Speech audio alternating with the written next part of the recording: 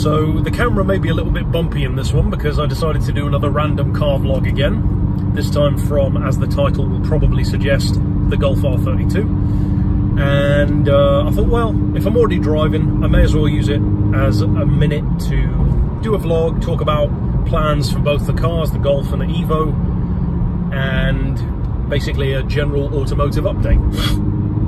So as far as the Evo goes, first of all, obviously the Evo is the newer of the two, the newer to me at least, and I've just ordered a full set of brakes for the Evo, discs and pads.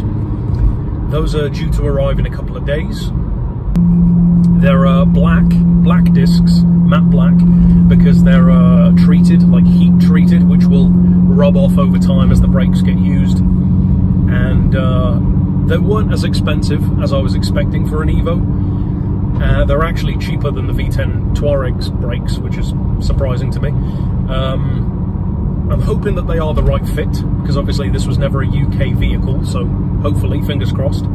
And I plan to get those fitted as soon as I can, because the Evo's got, and it had this when I bought it, it's got that kind of sound that you hear sometimes when your pads and discs need changing. Usually, that's caused by uh, warped discs, which is something I've had happen a couple of times in my cars, usually from as soon as I've bought them, so previous owners. So when I change my brakes, I like to generally get them done all at once.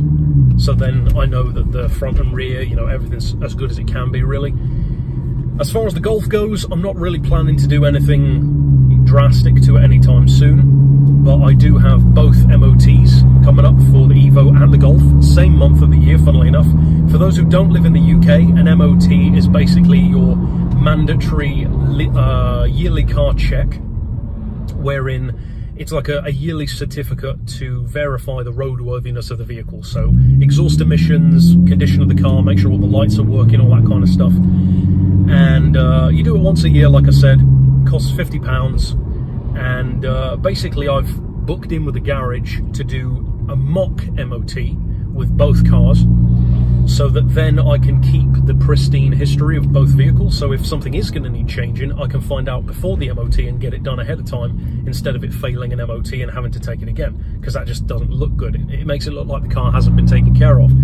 So I've got them both having a mock MOT, then they'll both have their real MOT. And then aside from that, for the rest of the year, I'm hoping to get both the Golf and the Evo serviced.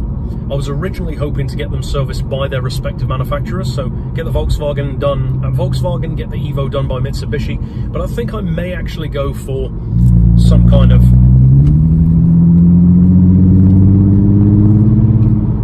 some kind of uh, specialist garage because I'm thinking the Golf, you know, I'm sure Volkswagen would service the Golf, but Volkswagen, I've looked into their prices before and they're pretty expensive. I guess you can probably say that for most, you know, franchise dealers doing servicing, but the Evo is the one that I'm more concerned about because yes, Mitsubishi, you know, is their car, but as far as I know, the Evo 7 was never officially sold in the UK. Certainly not the GTA. I think from the 8 onwards was sold here. So even if they have experience with it, they're not going to be necessarily the most uh, skilled with the car. I think I'll be better off trying to find like a specific Evo specialist and get it serviced with them. I also want to do a couple of other things with both cars, but especially the Evo. I want to uh, get a couple of modifications done to the gearbox because with those autos, it's uh, from what I've heard and had recommendations from other owners, it's more preventative stuff with those gearboxes just to make them that much stronger and last that much longer, and especially on, a, an Evo, on an Evo even, with the mileage that mine's got, preventative stuff is essential. It may have already been done, but at least a specialist can take a look at it and tell me if it has or not. Um, and then aside from that, probably toward the end of the year, I want to get both cars uh, coated underneath, rust-proofed. It's basically like a grease coating, and uh, will be one of the more uh, affordable things that I want to do to it. The servicing will probably be the most expensive. The gearbox work on the Evo will probably be a bit more expensive, but then the, the rust-proofing, probably not so much. Uh, I'm going to leave that toward the end of the year because for the most part, you don't really need to worry about that in summer.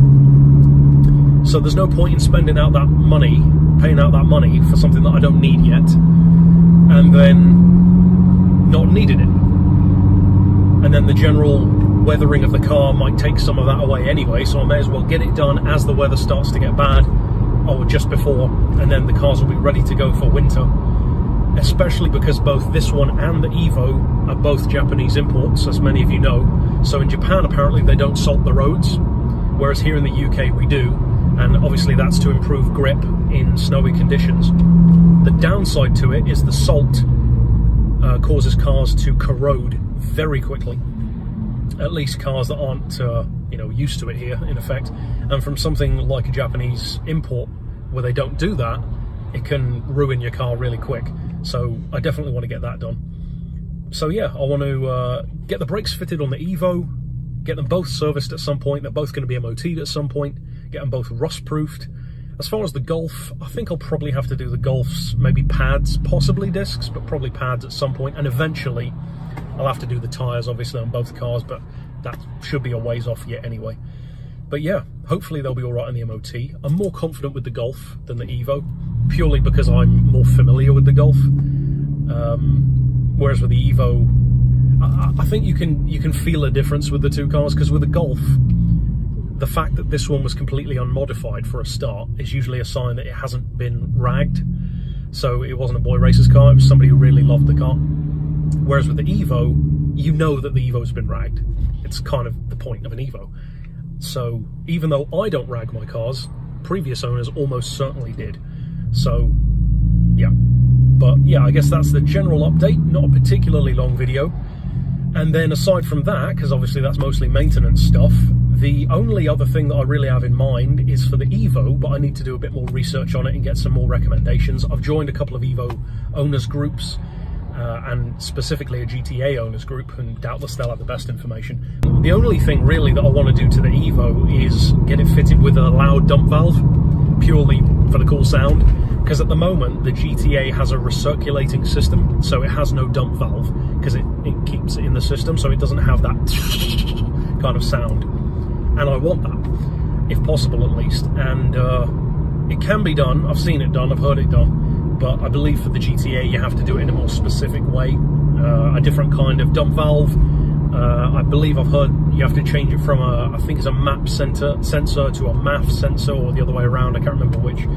But yeah, a couple of things there that I would like to do, but that's more on like the vanity side, whereas the others are more, you know, servicing, maintenance and care of the vehicle. But uh, yeah, I guess that's about it for the updates overall. Nothing too crazy for the vehicles. And just keeping them in the best shape they can be in. I don't rag my cars anyway, so they live a pretty easy life with me. And uh, yeah, just give them the best chance they've got of staying good. So that's it for the R32 vlog, the Evo vlog, whatever I end up calling it. And uh, if you haven't already seen the video of the Evo, the announcement video and the big reveal, or the review that I did for it, or maybe even you haven't seen the Golf R32 video, then of course you can find those on the channel and I'll see you next time. But for now, as always, thanks for watching.